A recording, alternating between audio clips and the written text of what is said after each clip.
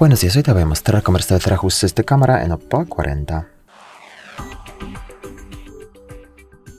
Para eso abrimos la aplicación cámara y luego de aquí seleccionamos... Eh, bueno, esperamos un poquito.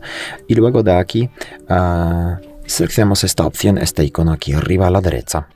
Uh, y luego pasamos a ajustes de cámara. Entonces pulsamos aquí.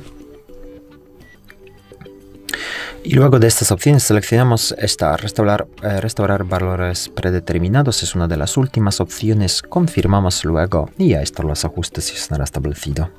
Muchas gracias por ver el vídeo, te comentario abajo, suscríbete al canal, hasta luego.